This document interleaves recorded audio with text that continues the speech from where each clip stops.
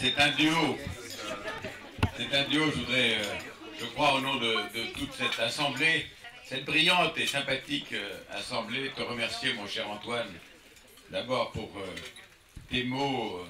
qui nous élèvent tout doucement sur ces bords du Loir, non pas vers l'infini,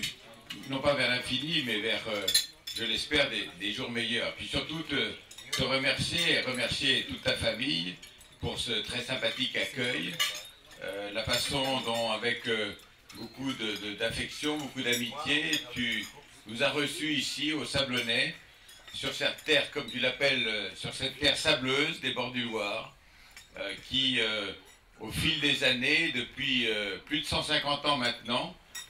a prouvé combien, lorsqu'on voulait la garder, lorsqu'on voulait l'entretenir, lorsqu'on voulait la développer, eh bien, elle pouvait servir euh, à travers euh, les chevaux, à travers euh, les courses, à travers l'élevage. Elle pouvait servir toute une, une action à la fois nationale, historique aussi, pour, pour une idée, une idée qui a été celle de notre famille tout, au long, tout au long de ces années. Alors, un, très grand merci à, vous tous, un très grand merci d'être venus au LUD. Euh, je le disais, euh, je ne vais pas reciter mes deux collègues sénateurs parce qu'ils diront finalement il, la ramène un peu de trop. Mais un grand, très grand merci à vous tous d'être euh, venus au lutte parce que je le disais cet après-midi, le haras des Sablonnais fait partie des, gloires de l'histoire du lutte, fait partie de cette commune de 4000 habitants qui est une commune toute simple mais qui au fil des années, au fil des siècles, euh, a toujours su et essayé de garder son identité. Euh, nous l'avons traversé, cette identité, euh, à travers l'histoire du, château,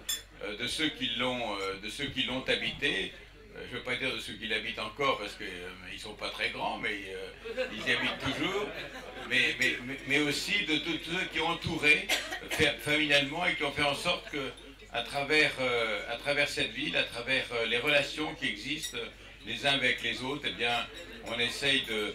montrer que dans ce petit bout de France, dans cette terre euh, du sud de la Sarthe, cette terre d'Anjou, eh bien, chacun à son niveau, chacun avec le soutien des uns et des autres, eh bien, on, apporte notre pierre à, la vie que nous aimons dans notre pays qui est la France. Merci à vous tous et merci de votre.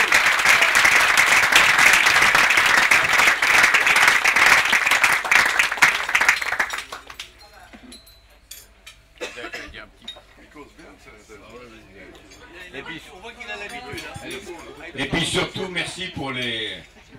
pour l'hiver, hein, parce qu'avec euh, ces merveilleuses vestes polaires, je peux dire que nous tous qui avons presque tous des maisons euh, un peu froides l'hiver, on sera ravis et on pensera très fort à toi et on t'encourage vivement à fêter le 151e anniversaire.